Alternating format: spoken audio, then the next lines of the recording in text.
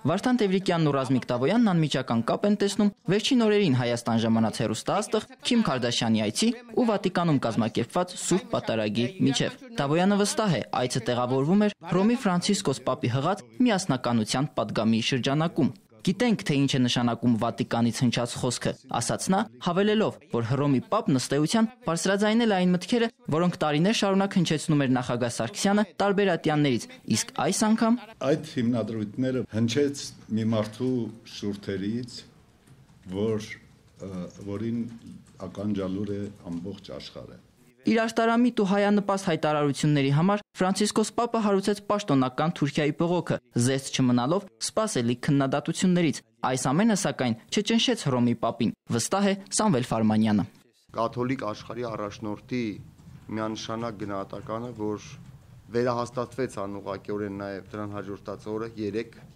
Սուրբ Մարտայի տաճարում մատուցած պատարակի ընթացքում նրա արտաբերած խոսքերով,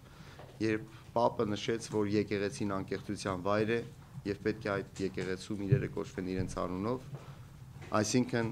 իր պատասխանը հնչեցնելով նաև թուրքական կողմի հայտնած մտահոգություններից Ինչքան էլ անկարան բորբոքվի Հռոմի Պապը պաշտոնապես հնչեցրել է հայոց ցեղասպանություն որակումը։ Վարդան Տևրիկյանն այս ամենի մեջ եւս մի կարևոր կետ է տեսնում։ Ինչով էր ուսանելի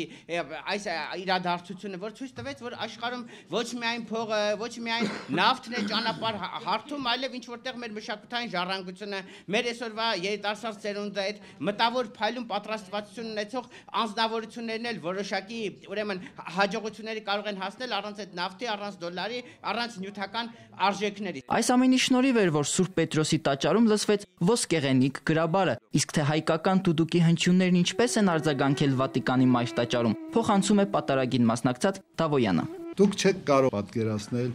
թե ինչ ահռելի տպավորություն գործեց, երբ որ Սուրբ Պետրոսի տաճարի այդ անսահման երկնագմբեթ տաճարի գմբեթի տակ մեկ էլ հնչեց հայկական դուդուկը։ Վերջին օրերի բուրըն լրահոսի տրամաբանական շղթան Տավոյանը հումորով է եզրափակում։ Եթե ինքը Հայաստանում լիներ, Քանյե Ուեստի հետ կնետվեր Կարապի լիճը։ Սամվել Մելքոնյան, Աշոտ Գաբրիելյան, Երկիրն այսօրի համար։